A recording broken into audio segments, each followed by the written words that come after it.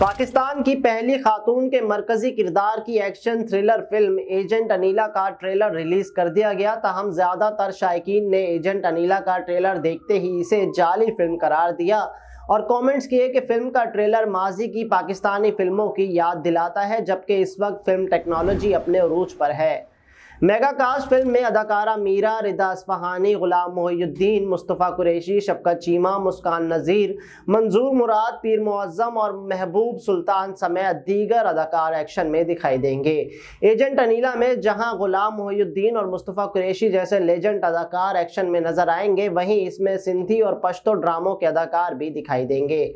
जारी किए गए ट्रेलर से फ़िल्म की कहानी समझना मुश्किल है, तहम अंदिया मिलता है कि फ़िल्म में एक ग्रोह पाकिस्तान में किसी वायरस के ज़रिए अमवात और खौफ फैलाना चाहता है, जबकि दूसरा ग्रोह इन्हें रोकने की कोशिश करता दिखाई देता है। ट्रेलर से अंदिया मिलता है कि अदाकारा मीरा मनफी किरदार में दिखाई देंगी, जबकि रिदा असफहानी यानी एजेंट अनीला के मरकजी किरदार में नज़र आएँगी।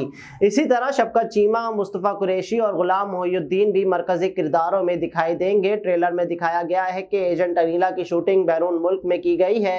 एजेंट अनीला की कहानी कासिम गुल पंवर ने लिखी है और उन्होंने ही इसकी हिदायत दी है, जबकि वो ही इस फ़िल्म के प्रोड्यूसर भी हैं। फ़िल्म के शरीक प्रोड्यूसर्स में हाजी खालिद सिद्दीकी शामिल हैं और फ़िल्म को आइंदा माह ईद के मौके पर रिलीज़ करने का ऐलान किया गया है।